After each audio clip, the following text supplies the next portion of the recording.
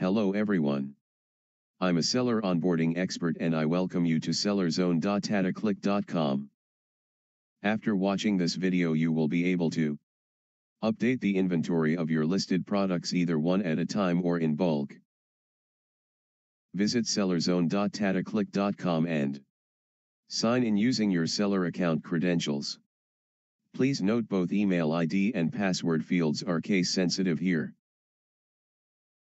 When you log in, you will be directed to the Seller Panel's homepage. Navigate to Inventory and Price Management. The Inventory Management tab allows you to edit inventory at an individual level. The Inventory Bulk Upload tab allows you to edit inventory in bulk. When we click on Inventory Management we are supposed to choose the slave and appropriate category levels. Slave code or store code is your seller code hyphen ERP code. When we are done choosing the exact hierarchy, click on search option. On doing so all the products that fall under the chosen category will pop up. Now we can refer to product name and SKU code and make the required changes to the inventory and safety stock. So I am changing the inventory from 10 to 5 and setting safety stock as 2. Setting a safety stock will alarm me when the inventory depletes to 2 units. After doing the desired changes, make sure you check on the box to the extreme right of the SKU, for which inventory was edited and click on Save. Then system will ask you to confirm if you want to proceed with the changes made to your inventory so choose the confirm option.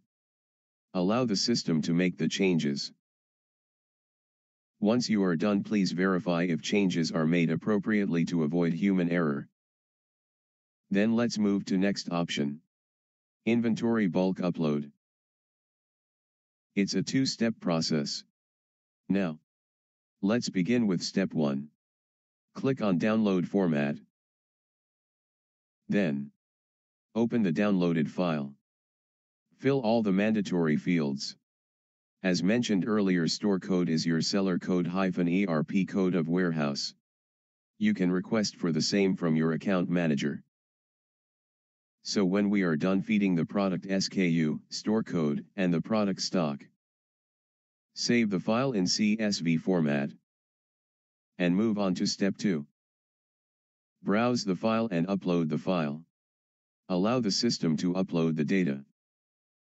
When the system is done uploading a summary file would be downloaded. Note, enable pop-ups of the browser so the summary file can be downloaded and we can refer to status of changes made. Save the summary file for future reference and mail the same to your respective account manager. Congratulations! You have learned how to update inventory on sellerzone.tatacliq.com.